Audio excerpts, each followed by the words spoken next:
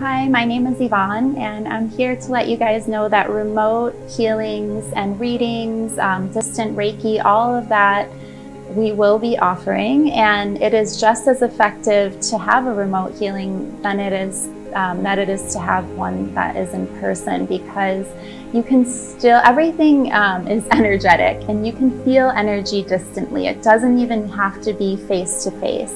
That works just as well remotely as it does in person. You can tune and tap into your energetic field um, just even over the phone if needed or via live video.